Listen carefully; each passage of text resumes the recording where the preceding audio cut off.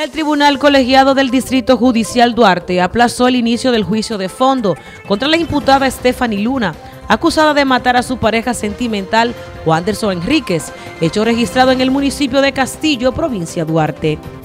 El abogado de la imputada Ana Stephanie, Luna decidió retirarse de la audiencia por situaciones que según él no le están pagando.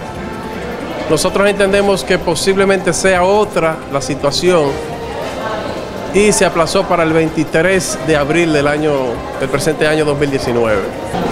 Una condenación de 30 años por asesinato. Eso esperamos, así espera la familia también. En tanto que familiares de la víctima manifestaron.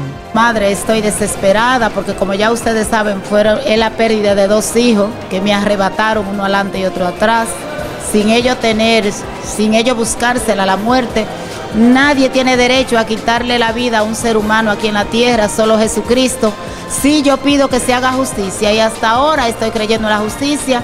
Le estoy haciendo un llamado, pues cada vez que se la llevan las imputadas, se paran en los lanos, como que ella es una turista, sin esposa y sin nada, haciendo chiste y comprando longaniza. Yo le hago un llamado que si ella tiene más poder que Maristán, porque ni Maristán con todo su dinero ha podido hacer eso. Para NTN su noticiero regional, Joanny Paulino.